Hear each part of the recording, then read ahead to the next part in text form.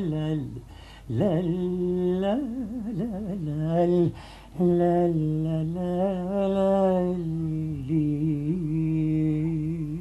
Böyledir insan başlayınca da bırakmak Evet, istemez. ağzınıza Türk sağlık. Çok teşekkür ederiz. Teşekkür ederim. Efendim sonra yıllar geçti ve siz ilk filminizi O yıllar geçti efendim. Akademi 3. sınıftayken evet orada. E, Bursa'dan akrabadan üst e, tanıdığımız tütün tüccarı İhsan Doruk Beyefendi yani çok büyük sanatçımız Evet. Cahide Sonku hanımın eşi e, Sonku şirketi kurulucu film şirketi ve de oraya bir müzikal düşünüldüğünü söyledi. Babamla görüştü. Biraz uzun görüştüler manevi noktaları. Maddiyat hiç önemli değildi. Zaten ben de e, Beyoğlu'nda e, izin günlerimizde çünkü Boğaziçi Lisesi'ni ben Leyli okudum. Yatılı okudum. Evet. E, Cumartesi, pazar günleri Beyoğlu'ndan geçerken böyle bir foto şehirde tüm vitrinin Cahide Sonku hanımefendinin çeşitli pozlarıyla süslendiğini görür. Dakikalarca durur bakardım. Profili nasıl, saçı nasıl, ne giymiş. Bir hafta sonra tekrar bakardım. Tekrar bakardım. Ne büyük kadın acaba yakından tanımak mümkün olacak mı derken e, başrolde film teklifi Evet. aldım. Evet, ben Ceyhan Hanım'la başroldeydim. Yani kız Ceyhan Mahfi Ayral, sevgilisi bendim. Kızın annesi Cahide Sonku hanımefendi, benim annem rahmetli Bedia Muvahhid hanımefendiydi. Evet. Enfes bir senaryoydu. Halen oynar bir salon filmidir. İçinde beklenen şarkı. Beklenen şarkı, Evet mi? efendim. O beste de bana aittir. Evet. İçinde beş şarkım daha var efendim. Ondan sonra o yaşta adeta hazırlanmış gibiydim. Bu senaryoda tipime ve yaratılışıma çok uygun gelince ben e, başarılı bir filmi bitirmiş oldum ve hasılat rekorları kırdı. Çok beğenildi, çok sevildi. Evet.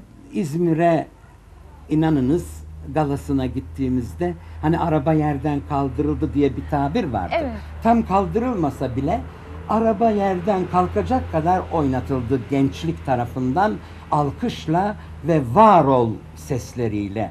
Evet, Ondan efendim. sonra ilk film galası da zannediyorum Cahide Hanım, ben, senaryonun yazarı rahmetli Sadık Şendil Beyefendi ve hanımı bu dörtlü Evet. bir locada bulunduk.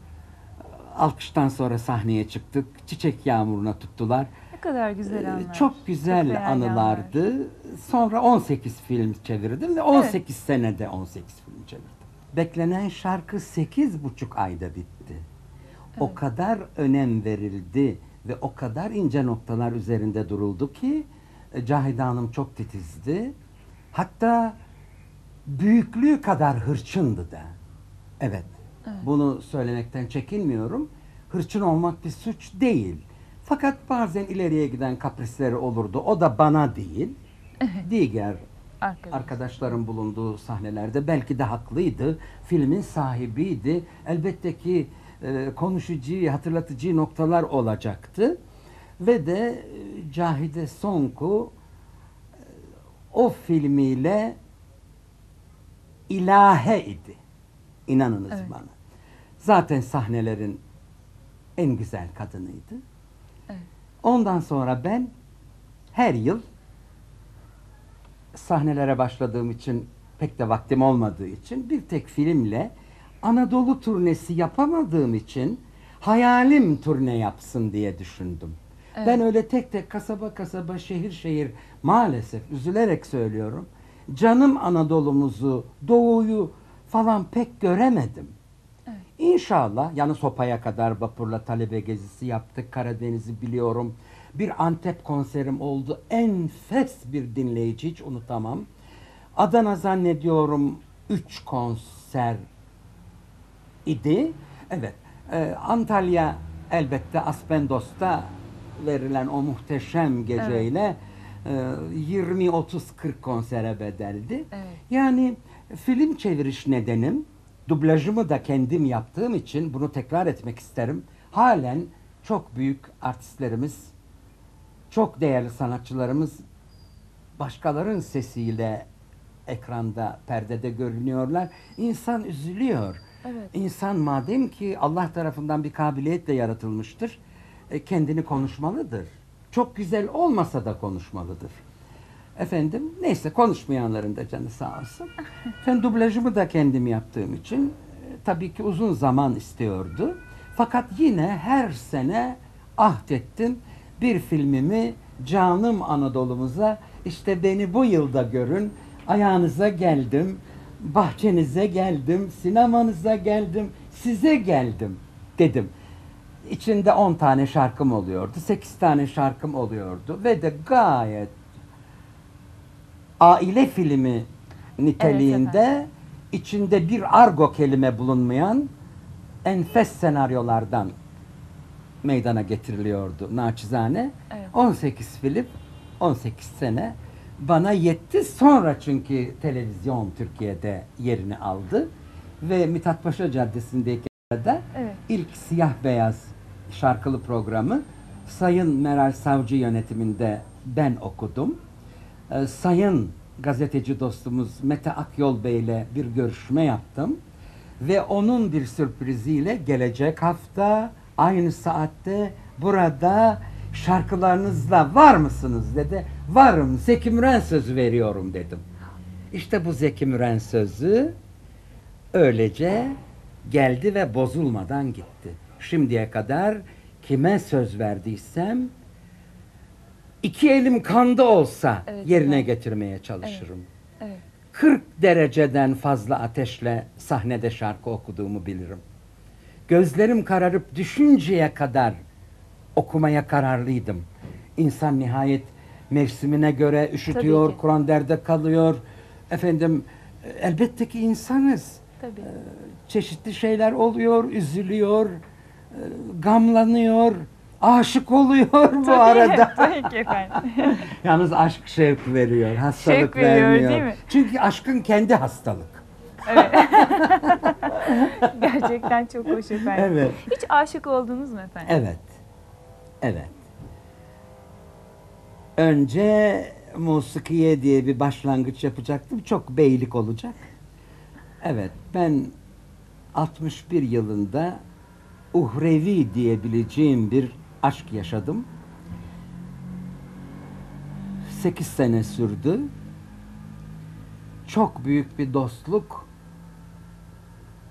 Çok büyük bir duygu menfaate dayanmayan en temiz hislerle dolu günler ve yıllar ve ondan sonra yine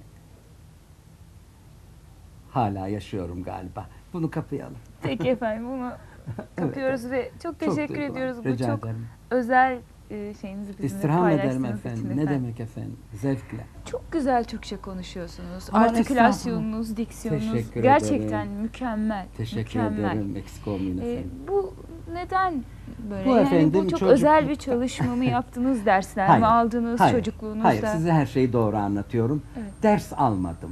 Çocuktum, hiç unutmam. Kahverengi, deri kaplı bir şarkı defterim vardı. O zaman Bursa'dan Ankara Radyosu çok rahat dinleniyordu. İstanbul Radyosu biraz cızırtılı çıkıyordu. Ve ben o defterimi alırdım titreye titreye okuyan bir hanımın veya beyin e, sesine dikkat edip o şarkıyı yazmaya gayret ederdim. Üçüncü mısrağa gelirdim ki ona biz meyan deriz. Evet. Anlayamazdım. Şimdi zemin tamam, nakarat tamam, meyan eksik nokta nokta nokta nokta, öbür son nakarat tekrar tamam. Bir ay iki ay geçer aradan yine aynı şarkıyı bu sefer başka bir sanatçı okuyor yine Ankara Radyosu'nda. Derdim ki ya Rabbim şu üçüncü satırı, şu üçüncü mısra bir anlasam da şu nokta noktaların yerini doldursam. Hani o şarkı tüm içime sinse. Bu türlü büyük bir merakla günün birinde ben halk huzuruna çıkarsam spiker veya şarkıcı olarak veya tiyatro oyuncusu veya sinema sanatçısı olarak güzel bir Türkçe konuşmaya gayret edeceğim diye kendi kendime söz verdim. Yapabildim mi? Yapamadım mı? Efendim. Onu siz takdir buyurunuz Türkiye'de efendim. belki de En iyi yapan tek isimsiniz. Estağfurullah efendim. Ben tiyatroda oynadım. Bundan Evet bahsedelim efendim. mi biraz ne Tabii güzel. efendim şerefle bahsederim çünkü Çay ve Sempati piyesi müzikal Aa, değildi. Çok güzel. Evet efendim. Biliyorum ben o Evet, parçayı. müzikal olmayışı ve de Abdullah Ziya Kozanoğlu rahmetli e, beyefendinin Arena Tiyatrosu'nda ki kaliteli eserler oynanan bir salondu. Ve Sayın Büyük Cüneyt Gökçer yönetiminde oynadım. Çok güzel. Şimdi bu demek oluyor ki hani şans, kader evet muhakkak Allah sıhhat verdi. Sonra e, başka bir gazinoya el sıkmıştım. Bayram geldi. Piyesi saat 18'e aldık. 18'de 3 perde piyes oynuyordum. Gece 24'te sahneyi alıyordum. Tamamen ayrı bir e, ruh ile, ayrı Tabii. bir kıyafet ile eseri biliyorsunuz zannediyorum. Tabii biliyorum. Evet efendim. Ve bütün gelenler ağlayarak takdirle çıktılar. Hanım sanatçıyı Altan Karındaş Hanım oynuyordu. Evet. Ve de profesörü konuk sanatçı olarak Asuman Korat Bey. İkisi de e, Evet. Asuman Korat ve Cüneyt Gökçer benim hocalarımdı. Öyle mi? Ne mutlusunuz siz. Allah rahmet eylesin Asuman Korat'ı da burada Evet. sevgiyle rahmetle anmak Analım istiyorum efendim elbet. O da Çok rolünde çok, iki başarılıydı. hocamdı, evet. Ve e, Cüneyt Bey'in yönetmeye gelemediği haftalar Altan Hanım'la arkadaşını e, ben sabah uçağıyla Ankara'ya götürür. Şimdi yıkılan e, Bellevue Oteli'nin büyük bir odası vardır. Perdeyle ayrılmıştır. Yani o zamanın kral dairesi denen oda. Evet. Orada inanınız tebeşirlerle, terliklerle, ta- tabakla, bardakla işaret koyup buradan gireceksin, şuradan çıkacaksınız. Şuradan üç adım yürüyecek. Mizansenleri. Evet, mizansenleri orada ayarlardık. Çünkü Cüneyt Bey hakikaten işlerinin yoğunluğu dolayısıyla her hafta üç gün sabah uçağıyla gelip dönemezdi. Biz giderdik. Evet. Öyle bir azmetmiştim ki bir ses sanatçısı bir piyes oynayabilir. Evet. Oynayamaz demişler. Niye heves etti bilmem ki demişler. Kesinlikle. Demişler demişler desinler Desinler, desinler desinler desinler, desinler desinler. diyecekler diyecekler diyecekler diyecekler desinler. Evet. Size yürekten katılıyorum söylediklerinize. Peki sonra başka eserde oynadınız mı? Çay Hayır ve efendim Sempati'den çay sonra. ve sempati o kadar büyüktü ki benim hayatımda. Onu tekrar etmek istemedim. Mesela bana ikinci Aspendos konseri için yıllarca kimler aracı oldu. Hayatımdaki güzel şeyleri tek olarak bırakmayı yeğlerim. Evet efendim. Peki e, Bodrum'da bir konser vermeyi düşünüyor musunuz? Bodrum'da 5 sene Bodrum Kalesi'nde doya doya okuyarak e, çok güzel konserler verdim. Fakat e, son yıllarda kalbimin iki damarı tıkalı olunca bu kadar da uzun programlar okursam pek hayırlı olmayacağını doktorlarım bildirince ben de artık ara verdim. Fakat e, Bodrum çok önemlidir. Bir gece e, TRT'nin çekim arabasının kablosunun kopmasıyla iş başladı. Amfiklatörün içindeki makinelerin parçalanmasıyla devam etti. Gece 2'yi 20 geçe, gece yarısından sonra 2'yi 20 geçe başladım.